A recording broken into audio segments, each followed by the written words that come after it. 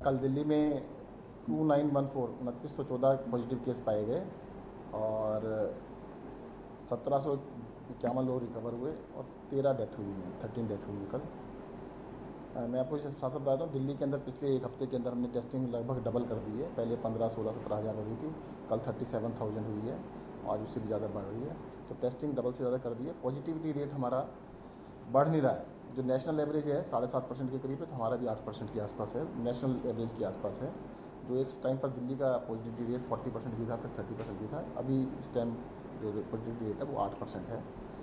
और जो death ratio है, जो डेथ हो रही है, वो लगभग पॉइंट फाइव परसेंट है, जो एक टाइम पर साढ़े तीन चार परसेंट हुआ करता था। तो दिल्ली में अभी सिचुएशन कंट्रोल में है, पर मैं लोगों से वही अपील करूँगा कि थोड़ा सा ध्यान रखें मास्क ज़रूर लगाएँ और इसको फैलने से रोकें।